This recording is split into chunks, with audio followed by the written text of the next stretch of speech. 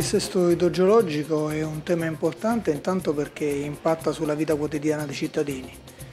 Quindi abbiamo l'obbligo di porci delle domande e soprattutto di aiutare i decisori a prendere delle decisioni per l'appunto in linea con quelle che oggi sono anche le conoscenze scientifiche e i passi fatti fino adesso.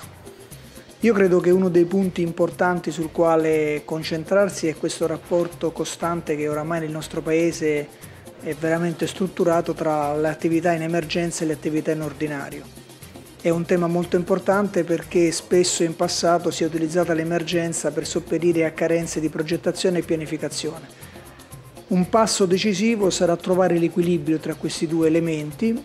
Anche il Proteggi Italia rappresenta questo, questo spunto di equilibrio raccogliendo anche un po' quella che era la sfida in tema di protezione civile dell'ultimo codice di protezione civile che pone sul rapporto tra l'ordinario e lo straordinario un punto di riflessione importante, cioè come l'emergenza contribuisce in una pianificazione sul dissesto idrogeologico di livello nazionale che sia ovviamente in linea con quelli che sono i piani e che vengono eh, diciamo, evidenziati dagli eventi emergenziali. Questa è una delle sfide che si propone anche questo tavolo sul dissesto idrogeologico e credo che ognuno di noi darà il proprio contributo eh, qualificato per, eh, per raggiungere ad un obiettivo che è comune.